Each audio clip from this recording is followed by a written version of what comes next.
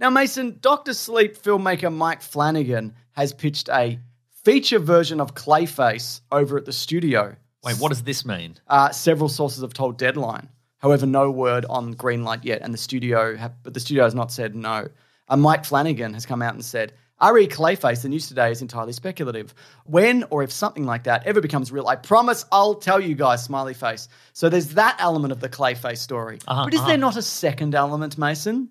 Oh, uh, maybe he's in the Batman. Maybe he's in the Batman. Maybe he's in the well, movie not The the Batman. Batman. because that movie already came out. I mean, Oh, he can be anybody. So That's maybe true. Maybe he was in the Batman the whole time. exactly. Ah, but he might be in the Batman Part Two. Yeah. that's exciting. So apparently, this pitch from Mike Flanagan, if it's real, wasn't pitched as part of the Batman 2, which he also might be appearing in separately. And other sources are saying that the script is constantly changing and that Clayface is a big addition to Matt Reeves as The Batman too. So we don't know whether or not either of these things are true, and if they Yeah. are true, whether they are connected. And also, if any of this is true, what version of Clayface That's is what? I mean. That's that's that's our realm of rampant speculation. Here we go. So the one, I mean, the the one that people probably know that is probably most prominent is the one that's in Harley Quinn, the animated series. Yeah. If I had to guess, um, it was a sort of he's a, a sort of a very theatrical kind of, uh, Hmm. uh, but but he's you know he's he's he's got you know sci-fi clay powers. Yeah. But th- there's in the comic books, there's been a bunch of different clay faces,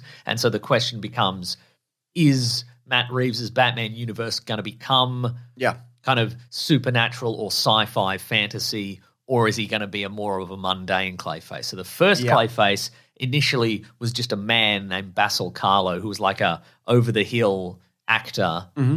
who wore a sort of clay-like mask and committed a bunch of murders. And then He could be anybody to an extent. yeah, and subsequent Clayfaces have had shape-shifting powers and Yeah. and sort of the, the the second one could you know become this this clay creature who could replicate anybody's features and you couldn't kill him because you know bullets and what have you would just pass through his clay-like body. He's also in the Batman animated series. There's a Yes, that's there's right. one really great episode Yeah. where he appears. There's, Yeah. I'm sure there are others. And there's a there's a lady version of Clayface who can not only transform into anyone but gain their powers if they have powers. Ooh. Uh, and then Basil Karlo gained Clayface powers. He gained a combination of the the, the, the next two Clayface's powers. Yep. And there's a guy who has like like a lava touch, and he has to wear like a containment I've got the lava touch. Everything I touch, it turns to lava. Exactly. Yeah, that's the one.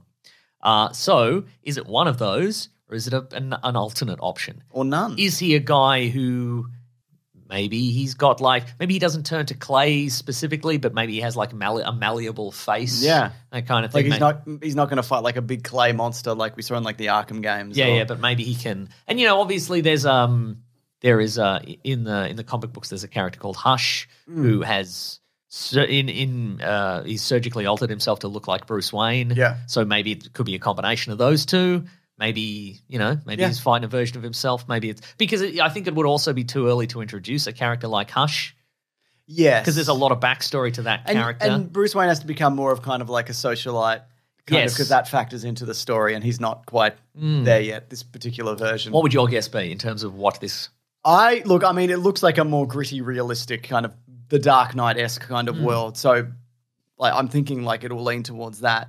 But Yes. I think there was a similar thing with Batman Begins. There was a time before that second movie came out where we didn't really know what direction these movies were going to go in. It was Yeah. such early days Batman, and there was like hallucinogen gas and all this kind of things where it could have potentially blown out into a big That's true. sci-fi world. Yeah. And I think we're in the same position here. I kind of want the clay, gross clay man. Yeah, uh-huh. Uh, b- I don't know though. What do you think? I think I'm gonna I'm gonna guess very malleable man. Mm. I'm gonna guess like I'm. It's very malleable, man. That's right. Look how malleable he is. yes. Give me your money, or I'll become more malleable than you can possibly imagine. I think it's gonna be probably. Okay, here's my guess. It's Basil Karlo. He's some sort of actor at the end of his career or something Theatre like nerd. and he maybe he maybe he gains maybe he's he's had this ability or maybe he gains an ability to he wants to become more youthful and it's kind of a but then it turns out he can push his Oh my god, it's the opposite of the movie Catwoman, where you want to become more That's youthful, right, but you turn yeah, yeah. into a porcelain person. that's right i think he's going to be he's he's going to be a Yeah, just like a sort of like shape clicking. Yeah, like he can move the bones and, and flesh in his face and that sort of stuff. That's cool. It is cool. And he'll have a big knife. Yeah, and a, seri- a series of wigs. Yeah, yeah, yeah. Great.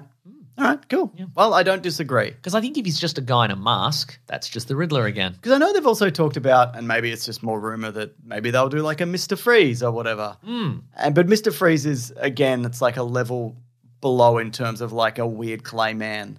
Yeah. You know, like you could be like, oh no, he's got a cryo disease and he has to be in a suit. It's Yeah. not as I think this universe is is sort of more heightened than the the uh, Nolan Definitely, Batman. So I yeah. think if any of these universes are going to have a more sci-fi bent to them, yeah. I even like I, I've I've said before. I think there was the capacity for there to be a Superman in the Nolan universe, just like a golden age. Superman. Definitely. and I think they could probably do it in I this think as well. they even looked at that. I think the idea was initially that they went to Christian Bale and it was like, no, I don't, no, no, no. Didn't I break my knee in that movie or something? Mm, yeah, yeah. Did I, fi- I don't care if I fixed it. I don't want to do it. I've got enough money and I already made a Terminator movie. That's true. Yeah. Hey, here's one bit of news, James. Oh my god, for this show? Yeah, for this show. Let's go. Not just be you and your life. All right. I'm saving that for later. Um, so Quentin Tarantino, we mentioned last uh, Mm. in weeks past, he had he's got a movie coming out called The Movie Critic, and and you know he's got a sort of a, a present day love affair with old Hollywood, 1960s Hollywood, etc. And so they're like, okay, who's a prominent movie critic? It could be about it could be about uh, Pauline Kael. Ooh, but it turns out it's not. He's he's confirmed it's not about Pauline. Oh, who's it about? He hasn't said. Is it about, It's about the us. nostalgia critic? That's right. That's God. right. That's right. He's going to blow the budget on t-shirts and ties. um, but it's it's it's not about Pauline Kael. But the one piece of news here that I thought was interesting is it's set in 1977. What came out in 1977, James?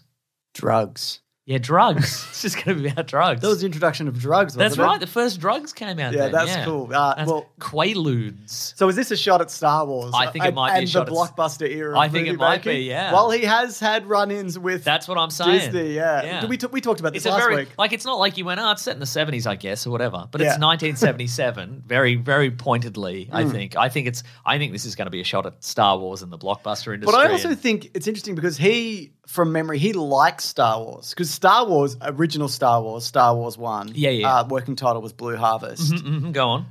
Like that movie. I mean, I know it was the biggest movie of the time. It became that, but it was this really weird, underground, unusual movie. That's true. That happened to become the biggest franchise in the world. Yeah. So I think he, from that perspective, he liked it. But Uh-huh. then in, ter- in terms of like what it has become now, Yeah. he obviously does not because they're Disney are pushing his movie off cinema screens. And Pushing every movie off cinema screens. exactly. yeah. So yeah, well, that is very interesting. I did not know that. I think. I think that's what it's going to be. So Should they get the critic uh, from that animated show, The Critic, whatever his name is? Yeah. What's his name again? well, it's Jon Lovitz. Yeah, But it stinks. Yeah, it stinks. that's right. Yeah, get. or, uh, yeah, I mean, I, do you think it's going to be like a fictional critic? Do you, or like an amalgamation of? I think it might be. Do you think he's going to run into the theater and machine gun George Lucas, Maybe. like the end of Inglourious Bastard? or he gets machine gunned. You know. Sure, yeah. Yeah.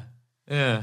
Well, I'm interested to see how that's going to turn out. What if it's what if his it's, it's the character's name's Siskel Ebert?